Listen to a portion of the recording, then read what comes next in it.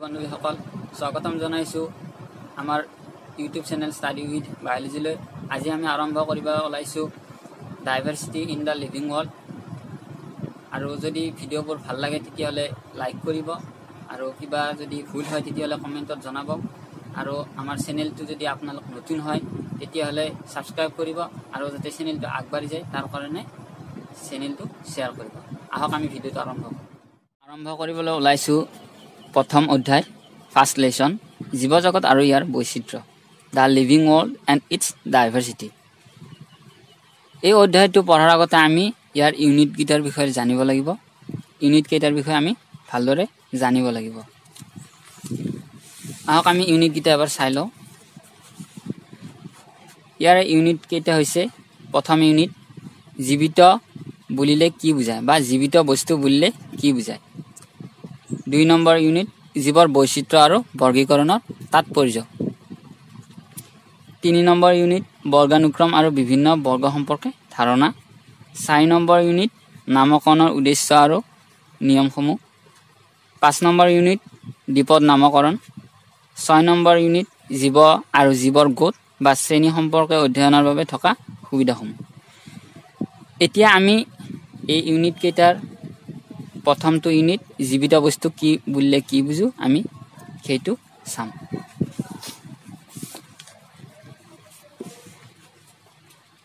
জীৱিত বস্তু বুলিলে আমি সেইটোকে বুজো যিটোৱে উশাহ নিশাহ লয় খাদ্য গ্ৰহণ কৰে এঠাইৰ পৰা আন ঠাইলৈ যাব পাৰে।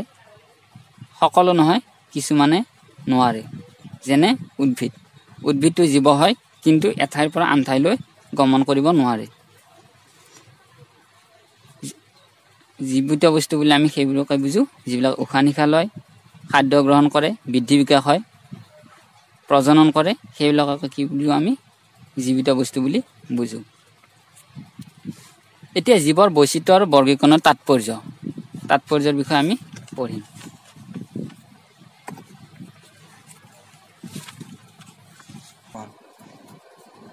আগতে আমি পঢ়ি আহিছোঁ যে জীৱ মানে কি? জীৱ কাক বুজোঁ আমি। জীৱ সেইবোৰে যিবিলাকে উশাহ নিশাহ লয় প্ৰজনন কৰে খাদ্য গ্ৰহণ কৰে আৰু বংশ বৃদ্ধি কৰে বা বৃদ্ধি বিকাশ হয়। লগতে বৃদ্ধি বিকাশ হয় সেইবিলাকক আমি জীৱ বুলি বুজোঁ। এতিয়া জীৱ সম্পৰ্কে ধাৰণা আমাৰ। এতিয়া আমি আগতে পঢ়ি আহিছোঁ যে জীৱ মানে কি জীৱ বুলিলে আমি কি বুজোঁ? আকৌ আমি এবাৰ চাম। জীৱ সেইবিলাকে যিবিলাকে বংশ বৃদ্ধি কৰে বৃদ্ধি বিকাশ হয় এঠাইৰ পৰা আন ঠাইলৈ যাব পাৰে সকলো নহয় কিছুমানে আকৌ এঠাইৰ পৰা আন ঠাইলৈ যাব নোৱাৰে। আৰু যিবিলাকে খাদ্য গ্ৰহণ কৰে উশাহ নিশাহ লয় সেইবিলাকক আমি সাধাৰণ অৱস্থাত জীৱ বুলি বুজোঁ। এতিয়া জীৱৰ প্ৰজনন জীৱৰ প্ৰজনন কেনেকৈ কৰে?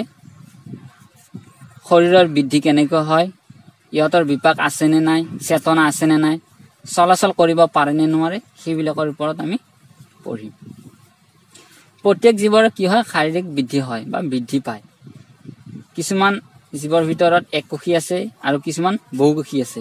কিছুমান উদ্ভিদ হ'ব পাৰে আৰু কিছুমান অনুজীৱ হ'ব পাৰে আৰু কিছুমান অহৰহ শাৰীৰিক বৃদ্ধি ঘটি থাকে। ইহঁতৰ আকৌ বৃদ্ধি দুই ধৰণৰ হয়। প্ৰথমে দেহকোষৰ বৃদ্ধি ঘটে আৰু পিছত কি হয় বহুকোষী যদি জীৱ হয় তেতিয়া এনে বৃদ্ধি পোৱা কোষৰ বিভাজন হয় মানে কোষৰ বিভাজন হয় দুটা কোষ উৎপাদন হয়। প্ৰতি তেনে কোষ পুনৰ বিভাজিত হৈ গৈ থাকে ফলত জীৱৰ দৈহিক কলেবৰ কি হয়? বৃদ্ধি হয়। এককোষী জীৱই এনেকৈ দৈহিক বিভাজনৰ দ্বাৰা নতুন নতুন ব্যক্তিৰ সৃষ্টি কৰি সিহঁতৰ সংখ্যা বৃদ্ধি কৰি গৈ থাকে। গতিকে বৃদ্ধি প্ৰক্ৰিয়াত কি হয়? বহুকোষী জীৱৰ ভৰ বৃদ্ধি পায় আৰু এককোষী জীৱৰ সংখ্যা বৃদ্ধি পায়। নিৰ্জীৱ বস্তুৰ শাৰীৰিক বৃদ্ধি কেতিয়াবা হয় যদিও কেৱল বাহিৰৰ ফালে ধূলি মাটি বা অন্য বস্তুৰ বছৰৰ পিছত বছৰ লাগি থাকি বা লাগি থকা প্ৰক্ৰিয়াৰ বাবে বৃদ্ধি হোৱা যেন দেখি প্ৰকৃততে ই বৃদ্ধি নহয়। মানে যিবিলাক নিৰ্জীৱীয় বস্তু আছে যিবিলাকৰ জীৱ নাই।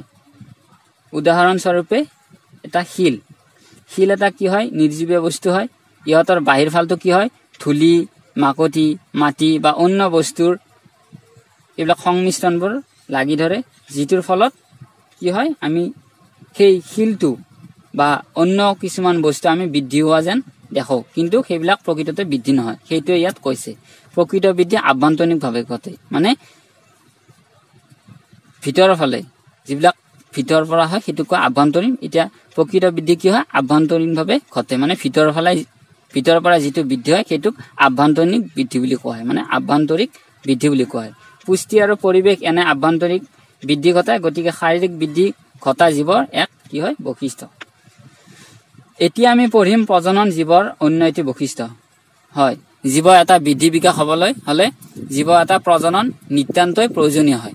এতিয়া জীৱ এটা তাৰ হুবহুব অনুৰূপ জীৱ এটা সৃষ্টি কৰিবলৈ হ'লে কোনো এটা জীৱ কি কৰিব লাগিব? প্ৰজনন কৰিব লাগিব। জীৱ বিভিন্ন ধৰণে প্ৰজনন কৰে।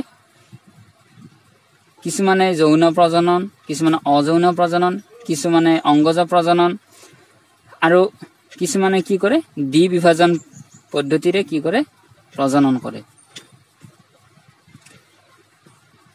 খেলা কিছুমানে ভেঁকুৰ মছ পেনেৰিয়া নামৰ চেপেটা কিনমি আদিয়ে দেহখণ্ডিত হোৱা প্ৰক্ৰিয়া বংশবৃদ্ধি কৰে। মানে খেলাই ভেঁকুৰ মছ প্লেনেৰিয়া নামৰ যিবিলাক চেপেটা কিনমি আছে সেইবিলাক কি কৰে? দেহটো খণ্ডিত হয়। মানে দুটা ভাগত ভাগ হৈ কি কৰে?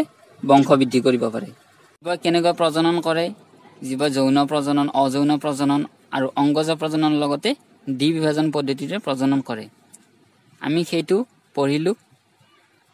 লগতে জীৱৰ শৰীৰৰ বৃদ্ধি বিকাশ কেনেকুৱা হয় সেইটো পঢ়িলোঁ। এতিয়া আমি পঢ়িম জীৱৰ বিপাক আছেনে নাই। জীৱৰ বিপাক আৰু চেতনা আছেনে নাই।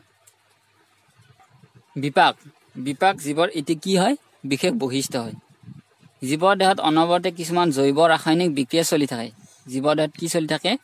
কিছুমান অনবৰতে জৈৱ ৰাসায়নিক বিক্ৰিয়া চলি থাকে। এই ৰাসায়নিক প্ৰক্ৰিয়াসমূহক একেলগে কি বোলে? বিপাক বোলা হয়। কুৱেশ্যন আহিব পাৰে যে বিপাক বুলিলে কি বুজায় তেতিয়া এইটো লিখিলে হ'ল জীৱৰ দেহত অনবৰত কিছুমান জৈৱ ৰাসায়নিক বিক্ৰিয়া চলি থাকে। এই ৰাসায়নিক প্ৰক্ৰিয়াসমূহক একেলগে বিপাক বুলি কোৱা হয় বা বিপাক বোলে। বিপাকীয় কাৰ্যক দুটা পৰ্যায়ত ভাগ কৰিব পাৰি। যিবোৰ বিপাকীয় কাৰ্যত ক্ষুদ্ৰ যৌগ লগ লাগি থাকে ক্ষুদ্ৰ যৌগ লগ লাগি জটিল যৌগৰ সৃষ্টি হয়। তেনে বিপাকীয় বিক্ৰিয়াক উপস্থিতি বোলা হয়। আৰু আনহাতে কিছুমান প্ৰক্ৰিয়াৰ দ্বাৰা জটিল যৌগ সৰল অৱস্থালৈ পৰিৱৰ্তিত হয় বিপাকৰ এনে প্ৰক্ৰিয়াক আকৌ অপস্থিতি বোলা হয়। পৰীক্ষাত কুৱেশ্যন আহিব পাৰে যে উপস্থিতি আৰু অপস্থিতি বুলিলে কি বুজা? তেতিয়া এইটো লিখিলে হ'ল যিবোৰ বিপাকীয় কাৰ্যত ক্ষুদ্ৰ লগ লাগি ক্ষুদ্ৰ যৌগ লগ লাগি জটিল যৌগৰ সৃষ্টি হয় তেনে বিপাক বিপাকীয় প্ৰক্ৰিয়াক বিক্ৰিয়াক উপস্থিতি বোলা হয়।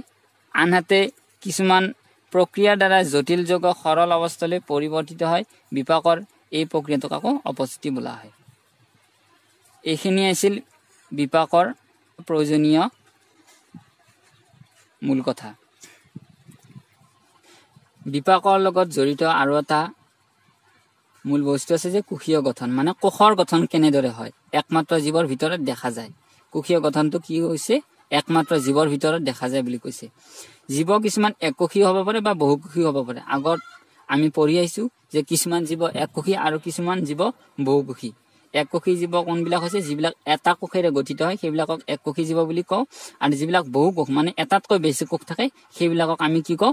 বহুকোষী জীৱ বুলি কওঁ। যিবিলাক এককোষী যিবিলাক জীৱ আছে সেইবিলাক হ'ল এমি এমিবা পেৰামেচিয়াম এইবিলাক।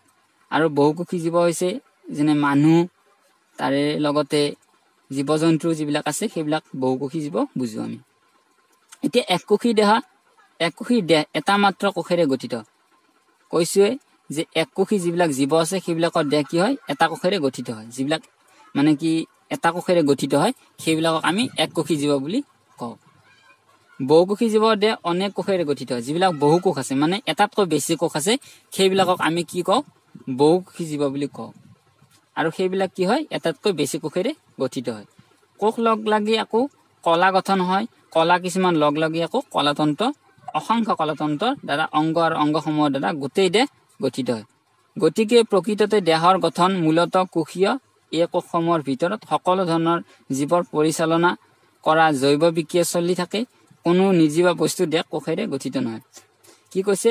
জীৱ কিছুমান এককোষী হয় কিছুমান বহুকোষী হয় যিবিলাক জীৱ এটা কোষেৰে গঠিত হয় সেইবিলাকক এককোষী জীৱ বুলি কওঁ। আৰু যিবিলাক এটাতকৈ বেছি মানে বহু কোষ মানে বেছিকৈ কোষ থাকে সেইবিলাকক বহুকোষী জীৱ বুলি কওঁ। লগতে কি কৈছে? কোষসমূহৰ ভিতৰত সকলো ধৰণৰ জীৱ পৰিচালনা কৰা জৈৱ বিক্ৰিয়া কি হৈ থাকে? চলি থাকে। কোনো নিৰ্জীৱ বস্তু দেহ কোষেৰে গঠিত নহয়। যিবিলাক নিৰ্জীৱ বস্তু নিৰ্জীৱ বস্তু সেইবিলাকে যিবিলাক বংশবৃদ্ধি নকৰে মানে খাদ্য গ্ৰহণ নকৰে উশাহ নিশাহ ল'ব নোৱাৰে সেইবিলাক কি কয়? নিৰ্জীৱ বস্তু বুলি কয়। সেইবিলাক আকৌ কি নহয়? কোষেৰে গঠিত নহয়। কি বুজিলোঁ? জীৱ কেনেদৰে উশাহ নিশাহ লয় জীৱ বংশবৃদ্ধি কৰে নে নকৰে? জীৱই খাদ্য গ্ৰহণ কৰে নে নকৰে? ইয়াৰ বিষয়ে আমি জানিলোঁ। তাৰে পাছত আমি প্ৰত্যেক জীৱৰ শৰীৰৰ বৃদ্ধি বিকাশ কেনেকৈ হয়? তাৰে ওপৰতো আমি আলোচনা কৰিলোঁ। তাৰে পাছত প্ৰজনন জীৱৰ এটি বৈশিষ্ট্য। জীৱৰ কি? প্ৰজনন কেনেদৰে হয়? সেইটোৰ বিষয়ে আমি আলোচনা কৰিলোঁ। তাৰে পাছত জীৱৰ বিপাক জীৱৰ কি হয়? বিপাক জীৱৰ এটি বিশেষ বৈশিষ্ট্য হয়।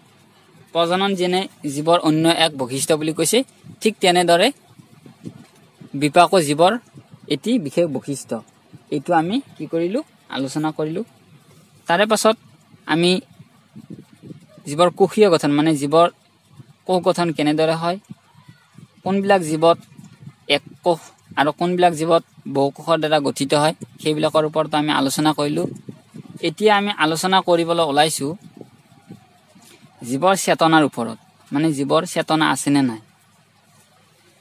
এতিয়া আমি আৰম্ভ কৰিম জীৱৰ চেতনা। জীৱৰ চেতনা বা উত্তেজনাশীলতা বা অনুভি অনুভূতিশীলতা। জীৱৰ চেতনা বা উত্তেজনশীলতা বা অনুভূতিশীলতা এটা বিশেষ লক্ষণ। কি হয়? জীৱৰ উত্তেজনশীল বা অনুভূতিশীল মানে কোনো এটা জীৱক চুই দিলে যেতিয়া অনুভৱ হয় সেই জীৱটোৰ সেইটো কি কয়? চেতনা বা অনুভূতিশীলতা বুলি বা অনুভৱ হোৱা বুলি কয় এইটো এটা কি বুলি কৈছে? জীৱৰ এক বিশেষ লক্ষণ বুলি কৈছে। এই গুণটো থকাৰ কাৰণে জীৱই তাৰ চৌদিশে বা চৌপাশে কি ঘটিছে সেইটো জানিব পাৰে। জীৱৰ এই গুণটোৱে সম্ভেদ আমি পৰোক্ষভাৱে পাওঁ। কোনো এটা জীৱৰ যেতিয়া কোনো এটা জীৱক আমি স্পৰ্শ কৰি দিওঁ বা কোনো এটা জীৱই যেতিয়া মানে কি হয় অনুভৱ হয় মানে অনুভূতিশীলতা লাভ কৰে তেতিয়া সেই জীৱটোক কি কওঁ আমি উত্তেজনশীল বুলি কওঁ বা উত্তেজনশীলতা বুলি কওঁ। ধৰা চৌপাশে কি হৈছে আমি কেতিয়াবা গম পাওঁ যে কোনোবা চিঞৰিলে বা কোনোবা কাঁহ মাৰিলে তেতিয়া আমি বুজো যে কোনোবা কাঁহ মাৰিছে বা কোনোবা চিঞৰিছে সেইটো হৈছে এক অনুভূতি বা এক উত্তেজনাশীল। আমি জীৱৰ প্ৰজননৰ ওপৰত আলোচনা কৰিলোঁ জীৱৰ শৰীৰৰ বৃদ্ধি বিকাশ কেনেকৈ তাৰ ওপৰত আলোচনা কৰিলোঁ জীৱৰ আকৌ বিপাক আছেনে নাই চেতনা আছেনে নাই তাৰে ওপৰতো আলোচনা কৰিলোঁ। এতিয়া আমি কি কৰিম? জীৱ চলাচল কৰিব পাৰিনে নোৱাৰে তাৰে ওপৰত আমি আলোচনা জীৱ চলাচল আলোচনা কৰি কৰিব পাৰিনে নোৱাৰে। জীৱ এটাই জীয়াই থাকিবলৈ হ'লে চলাচল কৰিব লাগিব। কাৰণ জীৱ এটাই জীয়াই থাকিবলগীয়া হ'লে উশাহ নিশাহৰ লগতে খাদ্য গ্ৰহণ কৰাটো এক গুৰুত্বপূৰ্ণ। কাৰণ খাদ্য গ্ৰহণ নকৰিলে মানে খাদ্য নাখালে জীৱ এটা কেনেকৈ জীয়াই থাকিব? জীৱ এটা জীয়াই থাকিবলৈ হ'লে খাদ্য খাব লাগিব আৰু খাদ্য খাবৰ কাৰণে মানে খাদ্য গ্ৰহণ কৰিবলৈ হ'লে জীৱ এটা চলাচল কৰিব লাগিব। তেতিয়াহ'লে জীৱটো কি কৰিব লাগিব? এঠাইৰ পৰা আন ঠাইলৈ কি কৰিব লাগিব? গমন কৰিব লাগিব। বা অংগ পৰিচালনা কৰিব লাগিব। আৰু সেইটোকে কি বুলি কোৱা হয়? চলন বোলা জীৱৰ আন এটা বৈশিষ্ট্য কি কোৱা হৈছে? ইয়াৰ চলন বুলি কৈ আছে এঠাইৰ পৰা আন ঠাইলৈ যোৱা বা একে ঠাইতে থাকি অংগ পৰিচালনা কৰাকে চলন বোলা হয়। প্ৰাণীয়ে শৰীৰত থকা চলন অংগৰ দ্বাৰা সহজে চলাচল কৰিব পাৰে। উদ্ভিদে মাটিত পোতা খাই থাকে কাৰণে ইয়াৰ চলন সম্ভৱপৰ নহয় যেন লাগে। যেতিয়া প্ৰাণী এটা কি হৈ থাকে শৰীৰত থকা যিবিলাক চলন অংগ আছে সেই চলন অংগৰ দ্বাৰা সহজে চলাচল কৰিব পাৰে। যদিও উদ্ভিদে মাটিত পোত খাই থাকে কাৰণে ইয়াৰ চলন সম্ভৱপৰ নহয়। নহ'লে যিবিলাক শিপা আছে শিপাৰ দ্বাৰা কি কৰে সিহঁতে খাদ্য গ্ৰহণ কৰে। আজিৰ কাৰণে ভিডিঅ'টো সমাপ্ত। অহা ভিডিঅ'ত আমি নেক্সট ইউনিটৰ ওপৰত আলোচনা কৰিম। প্ৰথম ইউনিট আমাৰ শেষ হ'ল। জীৱিত বস্তু বুলিলে কি বুজায়? জীৱ প্ৰজনন কেনেকৈ কৰে? চলনক্ষম নে চলন অক্ষম? এককোষী নে বহুকোষী তাৰে লগতে জীৱৰ বিপাক আছেনে নাই? চলন অংগ আছেনে নাই? চলন কেনেকৈ কৰে? জীৱ এটাই জীয়াই থাকিবলৈ হ'লে খাদ্য গ্ৰহণ কৰিব লাগিব নে নালাগিব সেইবিলাকৰ ওপৰত আমি আজি আলোচনা কৰিলোঁ এই প্ৰথম ইউনিটৰ জৰিয়তে। আমি অহা ভিডিঅ'ত আমি কি কৰিম? নেক্সট ইউনিটৰ ওপৰত আমি আলোচনা কৰিম।